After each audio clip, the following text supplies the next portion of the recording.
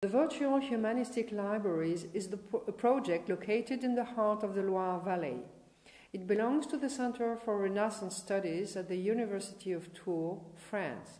This institute owns a research library of 50,000 volumes and a collection of 5,000 rare books. The digitization project, begun in 2003, offers two types of digital representations the image of a copy, its facsimile, and its corresponding transcription, without additions besides essential corrections. 1,000 facsimiles and a corpus of 100 texts.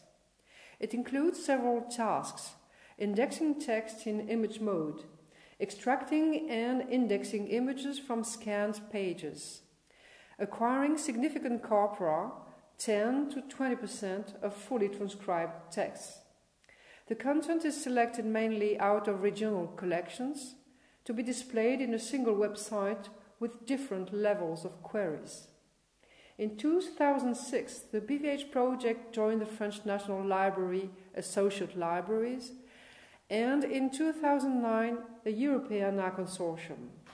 By now, it's a member of the French Research Infrastructure, Corpus, a member of the TEI Consortium, and a resource center of the CenterNet network. It provides a special training for graduate studies, workshops for students, faculty members, and librarians, especially for TEI encoding Renaissance texts.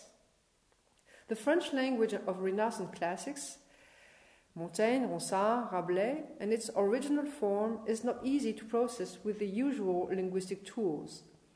Lately, the BVH won with the Computer Science Laboratory three Google Awards in order to develop linguistic tools and to improve OCRing for all documents.